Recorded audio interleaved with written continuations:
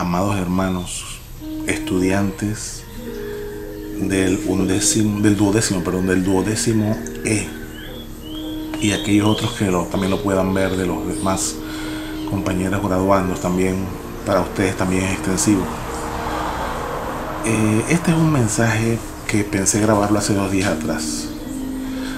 Hace dos días atrás grabé el de octavo, pensé grabar los dos juntos, pero quería meditar, porque el contenido del mensaje hacia ustedes debía ser eh, un poco más,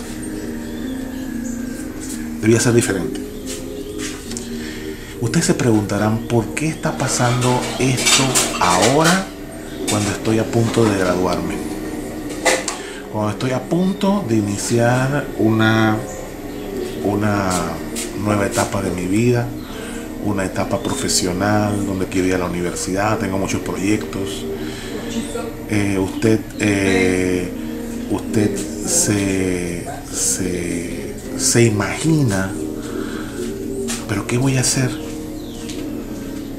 El lobo, el lema, la junta directiva. Pues déjeme decirle algo importante.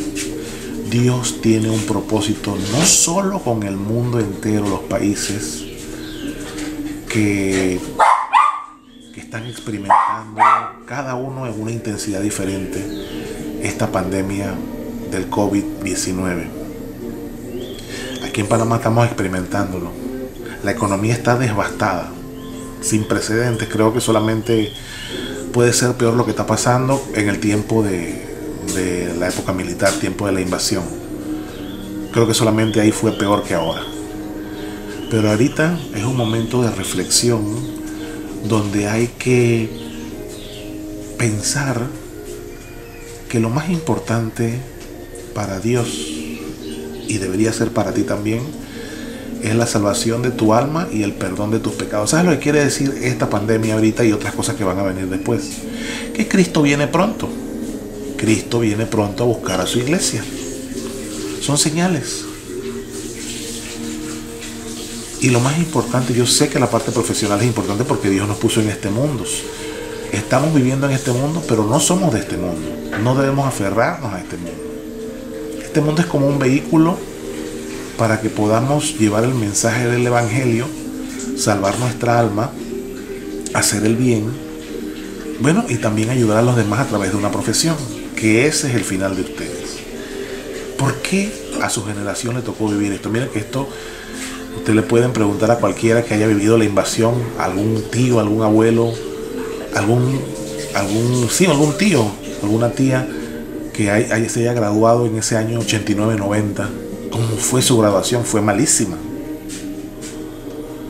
Algunos ni se graduaron, tuvieron que hacer no sé qué cosas después. Pero es importante que usted se concentre en sí, sí es cierto. Hay que pensar en de dónde voy a pagar los gastos de graduación, aunque Dios tiene el control, no se crea, Dios tiene el control. Si usted tiene el, combustible de la fe, Dios en cada caso obrará de forma diferente. En cada hogar obrará de forma diferente. Hay compañeros suyos que ni siquiera se pudieron matricular y están en un colegio público. Hay compañeros suyos que a lo mejor usted no lo sabe, pero a lo mejor comen una o dos veces al día porque el, el dinero no da. Y quién sabe, más allá de eso, en la República, tantos jóvenes indígenas, gente pobre, gente de la pesca, de la agricultura, que sobrevive con lo que gana en el día. Yo entiendo, he de conectarme con ustedes por una videollamada, pero quiero enviarles este mensaje. Dios tiene algo grande para ustedes, generación 2020 del buen pastor. Yo le diría ya que desde ahora yo los llamaría la generación de los valientes. La generación de los que ven más allá de la simple vista humana. La generación, de la visión. De la visión correcta, como dice el, mensaje del lema. ¿Cuál es la visión correcta? Primero, no dejar de adorar y de orar a Dios todos los días y leer la palabra. Leer la palabra es fundamental. Leer la palabra te da como una paz. Tú entiendes cosas que no entendías antes. Yo entiendo que hay muchas cosas que hacer, pero 5 o 10 minutos al día que tú lo dediques, aunque sea como un pequeño devocional, es algo importante. Ten paciencia, sé paciente. Dios tiene el control, Dios tiene el control, Dios está sentado sobre su trono y todo lo que está pasando aquí a nosotros y en el mundo, Dios tiene el control. Tercero, hay una enseñanza para nosotros. Algunos más, algunos menos, nos hemos apartado de Dios. No hacemos 100% lo que Dios quiere. Y Dios es un Dios celoso. La palabra dice que Dios al que ama castiga o disciplina. Tal vez esta prueba, esta pandemia es una prueba disciplinaria de Dios para el mundo. Para que el que esté firme se afirme más. El que esté alejado se acerque al altar.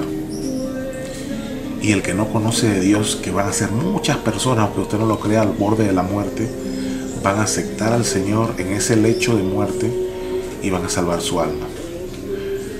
Así que yo insto a que hagas de tu casa un altar familiar para que puedas llevarle a tus padres esa paciencia y esa, esa confianza en Dios. Porque si vienen gastos de fin de año, pero eso es secundario. La práctica profesión, la práctica social, trabajo social. Ya Dios tiene el control. No sabemos cuándo vamos a entrar, si es en junio, julio o agosto. Pero cualquiera de esos meses, Dios tiene el control. Dios te bendiga y seguimos orando.